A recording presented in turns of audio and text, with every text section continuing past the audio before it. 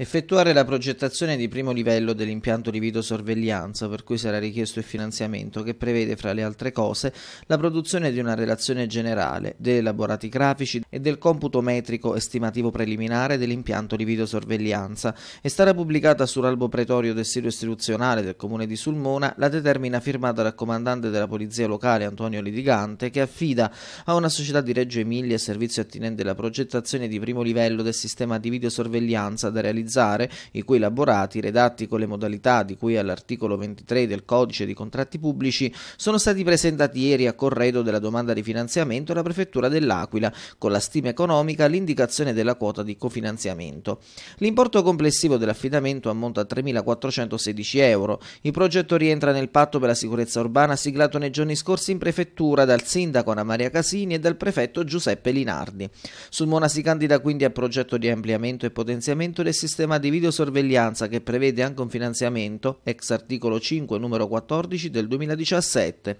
Il progetto depositato ieri costituisce il secondo step dell'intera iniziativa che vede Sulmone e altri comuni in campo per la sicurezza. Al progetto si vanno ad aggiungere 30.000 euro fatti ai locali in bilancio dalla consigliera Roberta Salvati per l'installazione di nuove telecamere in città come in via Solimo e via Vezzano, mentre ancora nulla di fatto per la gara d'appalto sulla manutenzione. Un tasto dolente per una città che finisce spesso la ribalta ribalta della cronaca. Dagli uffici comunali l'avviso pubblico non arriva e nemmeno gli inquirenti sarebbero in grado, in tempi brevissimi, di scaricare le immagini delle telecamere già installate, se non attraverso procedure lunghe e farraginose.